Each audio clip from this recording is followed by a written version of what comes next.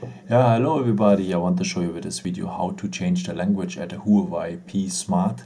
So be carefully for all the steps because maybe you have changed it into a language you don't understand. Um, and the positions, but the positions will be always the same as I show you now in the English language version. So whatever your language you have, you will have the same position. Um, so just follow the instructions. Okay, let us start. We go at the settings first. This, as you can see, the symbol here.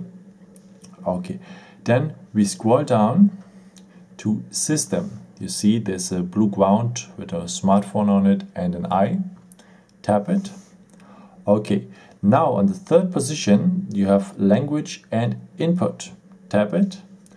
Okay, now if you have this phone already and uh, so let us go on language if you have this phone already uh, longer and maybe your language was set up already, you have here the language you have chosen already on your phone. In my case, I have German and I have English. Okay, um, but maybe uh, you have just bought the phone and uh, need a language you, which one is not shown here. So if it's shown here, it's very simple. You just change it into German or into English here. If you don't have a language of yourself here, then go just on add language.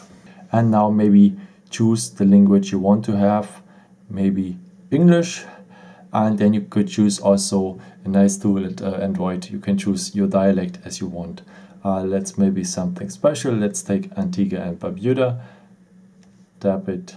And now you have also the English of Antigua and Barbuda here.